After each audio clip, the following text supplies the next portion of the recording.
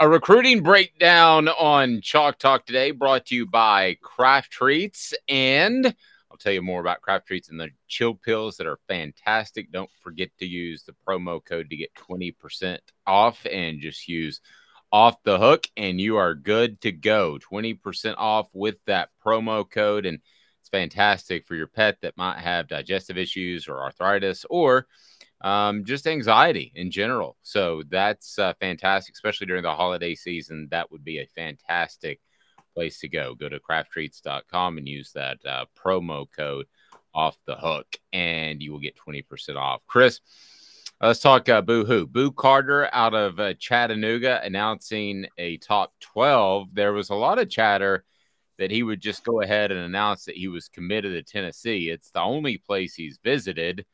What do you make of? Let's start with what do you make of his recruitment, and then I love your evals on these players, and we'll get to that.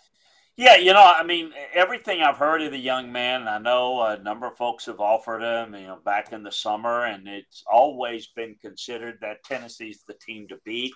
What's the holdup? Why he didn't commit? I mean, you never know with that. I don't know the young man, haven't talked with him, so is it something they want to do at another time where other family members can be there? There's a lot of drama that goes along with these kids' announcements now. So I don't necessarily have gotten any indication that Tennessee's lost any steam with him. Um, it's certainly at a need spot. He's an athlete that could play safety. Um, I think really athletic. I mean, I think that would be a really good fit. He's a basketball player. He's got the, those type of hips to be a really good player.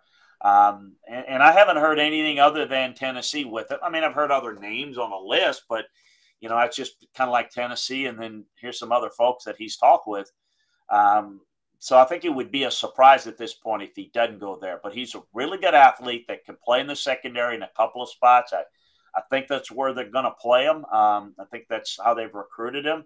But he has some ability athletically to play on both sides of the balls uh, as he does for uh, Chattanooga there. So Chattanooga Christian.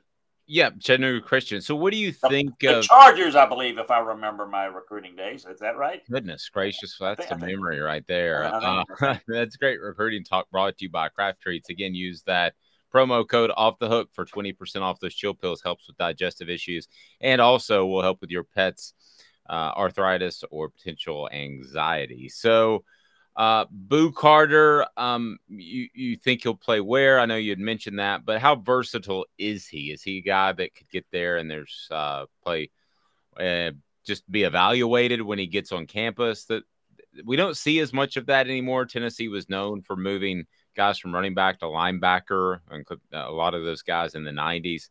But we don't see that as much. They usually show up with uh, an intention of playing one position by the coaching staff. But uh, how versatile is he? You think? I, I think he's pretty versatile. I, I like him as I like him in the secondary most. I think he's got um, the ability to line up inside in the slot, and I think he can line up at safety, be real effective. That's where I see him as the best fit. Uh, but that's also where I've been exposed to him the most on film. I've not obviously worked him out and seen what he might be able to do on offense, but I think the I think they're looking at him um, in the secondary mostly, and and again, that's where I think he's a better fit. Let's stick at uh, cornerback or defensive back. Kaleb Beasley will announce his decision uh, Friday night. Uh, Nashville native. I think Tennessee's in great shape there. What are you hearing? Yeah, I, am hearing that they're in uh, good shape as well. I, I, actually have not only watched this guy on film, I mentioned this on, on earlier uh, uh, when I think we talked in the summer, which is why you, you need to be listening to us because we, we've been on this guy for a while.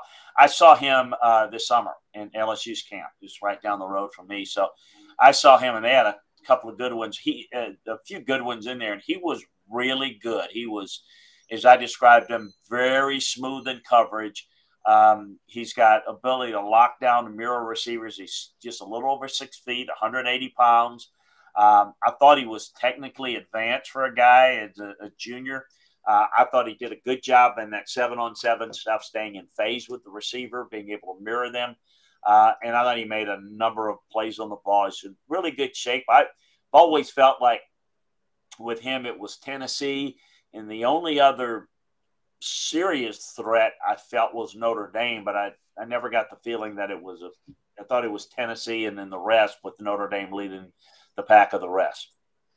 Interesting. Um, now he's related, a cousin to Aaron Beasley, uh, who plays at uh, Tennessee. It, it's when you say advanced, I mean that's what Tennessee needs. Despite the fantastic run they're having, they could use some guys that are are ready to play, especially in the secondary. Yeah, and, and whether you're you know in, in advance from a technique standpoint, uh, and it doesn't.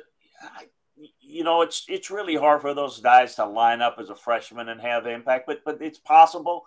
Um, but from a technique standpoint, a lot of these guys have natural ability, Dave, but they just they don't play with really good technique. They they line up incorrectly and then they just false step. So even though they've got athletic ability, they don't do things the right way. And you know, maybe it's you know taught and they freelance a little bit, you know. But but he, when I say he's advanced, he played with really good technique. He was sound uh, in his alignment, his positioning. Uh, as I said, he always stayed in phase. He always knew how to really uh, turn his head at the right time. All those things, technique wise, was was pretty good, which you don't always see with some of these young guys that have a lot of talent. They sometimes rely on that and are not as sound with their technique. I thought he was. Mazeo Bennett, Tennessee's newest commitment. It is kind of funny. He says South Carolina was a close second. So I don't know that this recruitment's over just because uh, a prospect announces that he is committed doesn't mean that all the other coaches are just going to back off of him. And he has visited South Carolina a ton, but let's let's assume he, he is going to uh, end up at Tennessee. Announced his commitment to Tennessee on his 17th birthday, uh, which would have been October the 16th. Um, your thoughts on Mazeo Bennett and the type of player he is? You know, he's 5'11 uh, ish, 175 pounds. Uh, was class of 2024. Um, he's pretty good length. He's got really good quickness. The thing that jumps out at me is that he can play inside or outside. So he's got the quickness to play in the slot, but I think he's fast enough to play outside wide. Um, productive high school player, uh, natural pass catcher. I like his ball skills. I think they're good. Uh, I think he can high point balls, so he, that's where his length comes in. He plays a little bit bigger than his size. I like his body control. I think he can adjust well to off target passes. I like his release off the line of scrimmage. It's pretty clean there. Uh, I think he tracks the ball very well. I like the the uh, the, the play after the, the ability to make plays after the catch. Um, you know, I think one of the things I look at is how natural are guys to make what I would call out of frame catches.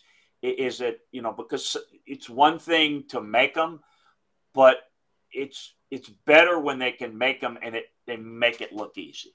Because when you make it look easy, it's natural. It's you don't need an extra human effort to make a great play, which sometimes average guys can do it.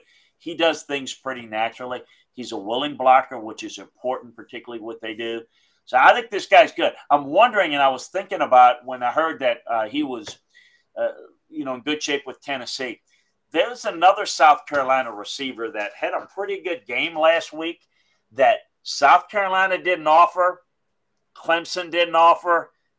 So I'm talking about Mr. Hyatt, but Bennett is somebody that I think um, you know they are very well aware of, and I, I don't know if they're going to make up any ground. This is the type of guy I will say this from South Carolina standpoint that they need. They don't have enough of these guys, but this is a case too where you've made a lot of strides. This has become now receiver you. I'm old enough to remember, and I'm going to throw you under the bus too. You're old enough to remember when Tennessee was wide receiver you, and they had all those guys come in. I mean, Carl Pickens types, and you go there and you just go to Tennessee Go to Knoxville, and there's going to be plenty of receivers under the Christmas tree, the recruiting tree, anyway. And now it's kind of becoming that again. I mean, why wouldn't you want to go there as a receiver? I think this is one that you wonder if they can get in from South Carolina based upon what has really happened there this year and the role that they're on offensively, particularly with the development of receivers. And uh, again, Mr. Hyatt was another one that uh, that I, will say this: that was Will Muschamp's faux pas not offering him, and but Clemson didn't either. Wow. That's uh, pr- pretty insightful. I um, it, it, sounds like Tennessee is com- starting to compete with some of the guys, in particular Bennett, that the the big schools want. So we've yes. talked about this before. Tennessee either had to get on a guy early or get a guy that they saw more potential than maybe the Alabamas and the Georgias of the world. But I'm starting to see the Alabamas and the Georgias mentioned along with some Tennessee prospects. Are you seeing the evolution of Tennessee's recruitment in terms of being able to compete with the big boys now? Well, the two that we just mentioned, Beasley and and uh, Bennett, are or or what we call or, or what fans are noted noted four star guys. And, and, I think Boo is trending that way too, although he's mostly kind of considered three star. He so you're getting into where you're recruiting guys that are at a higher level. Now, now remember, Jalin Hyatt was a was would, would consider like a three star guy, and again, the system and, and a lot got speed. So yeah, I think this is an important step, and we've talked about it with some of the defensive guys. If you're not recruiting the four and five star guys, if you think that you're going to get three star guys and you're going to beat the Georgias and the Alabamas consistently, I know it's excitement. You beat them once. You're not going to have a consistent level program. Being great is doing it on a consistent level. In order for Tennessee to do that, they're going to have to recruit those same type of players. You know, Auburn beat Alabama three times too, but they weren't recruiting as well under Gus Malzahn and, and uh, under Bryan Harsin to compete with Alabama on a consistent basis. Oh, they can beat them again. Gus did it three times, but they're not winning at a high level. And, and you got to recruit like Georgia. You got to recruit like Alabama. You got to play one every year in your division, and you got to play the other every year out of division. And you're not going to get where your ultimate goals are unless you're able to do that and recruit at that level consistently. This is a year where Tennessee's got a mature team and everything is going co- correctly. But that's what Georgia and Alabama kind of minimizes is even when they have quote unquote down years, they still have more talent than you do. If you're in a quote unquote rebuilding year like Georgia and Alabama, and you're not nearly as talented, you can go from 11 and 1 to 8 and 4 very easily. That's about exactly even worse. That's what Auburn did, basically. Well, yeah, you throw in some other factors and dysfunction, and yeah.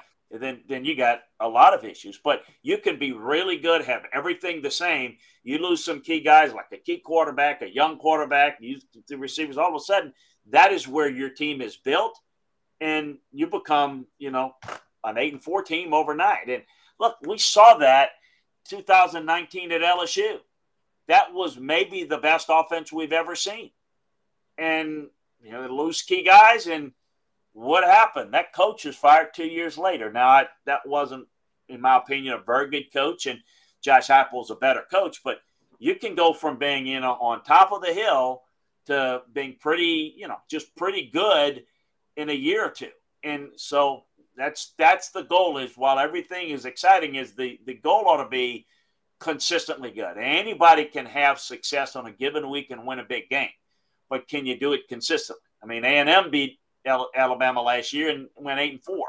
You know, so it's like, what can you do for consistency during the course of the year?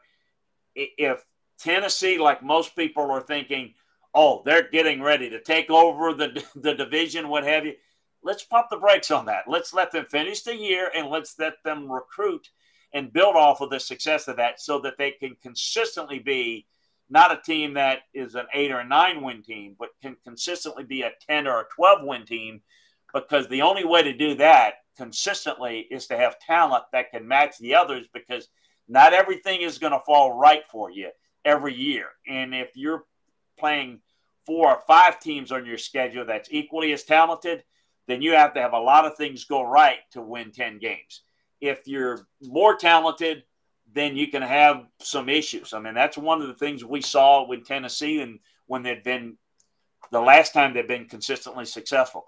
A lot of criticisms for Randy Sanders, Phillip Fulmer type guys, but they were more talented and maybe they'd win games quote unquote ugly, but they'd win because they had more talent.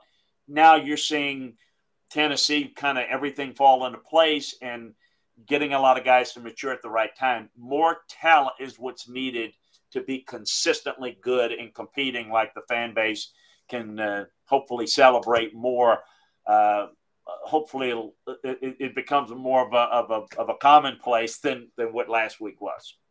Feel free to write in who you would like to hear evaluated from Chris Landry as recruiting never stops and is getting into full swing. And why let your uh, pet suffer when all you have to do is get some chill pills from crafttreats.com. Use the promo code off the hook. Again, the chill pills will help with uh, any sort of anxiety, they will help with um, also digestive issues and arthritis. So that's crafttreats.com. Use the promo code off the hook for the chill pills. He's Chris Landry at LandryFootball.com. I'm Dave Hooker. This is a presentation of Off the Hook Sports.